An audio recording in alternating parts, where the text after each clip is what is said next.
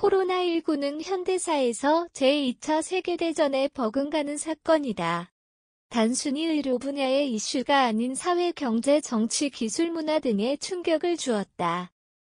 post 코로나 시대는 언택트 디지털 이벤트 원격 화상 교육 로봇의 일반화 원격 근무 온라인 쇼핑 등이 당분간 계속 펼쳐질 전망이다.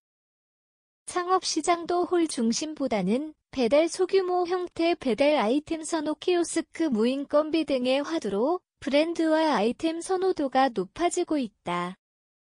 외식시장 사업체 수는 약 70만 개이지만 20평 이상의 중대형과 주점업이 고전이 예상되며 10평형 소규모 창업이 2021년에도 성장세를 이어갈 것으로 예상된다.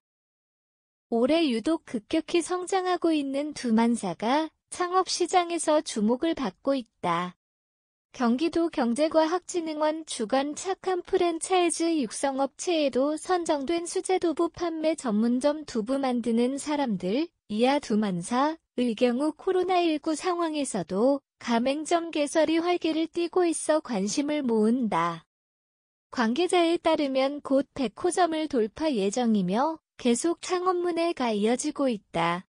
식물성 단백질 식품인 콩을 활용하여 매장에서 당일 직접 만든 수제 두부 콩물 순두부를 판매하는 두만사 브랜드의 두부의 특징은 100% 국산 콩을 사용하는 데다 식약처로부터 허가받은 남해 지하염소 간소와 백년초 선인장 추출물 등 천연 응고제를 첨가해 만든다는 점이다. 두부 맛은 물 콩 간수의 조업에 추가로 기계의 성능이 좌우하는 데 직접 만든 두만사 기계도 한몫을 한다고 한다. 일반 두부 이외에 야채 두부, 흑임자 두부, 표고버섯 두부, 인삼 두부 등 건강 식 재료를 접목시킨 이색 두부 제품 라인으로 다양성 및 차별성을 띠고 있는가 하면 콩물 순두부 비지도 취급하고 있다.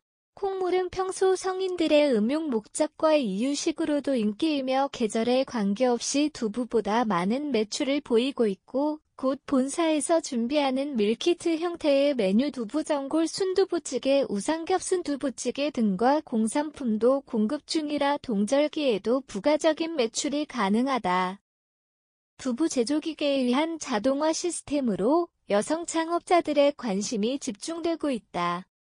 최소 10평 매장 소자본 1인 창업으로 특화된 가맹점을 표준 모델로 내세우고 있는데 실제 대부분 매장들이 남성 1인 부부 가족 2인으로 영업 중이다.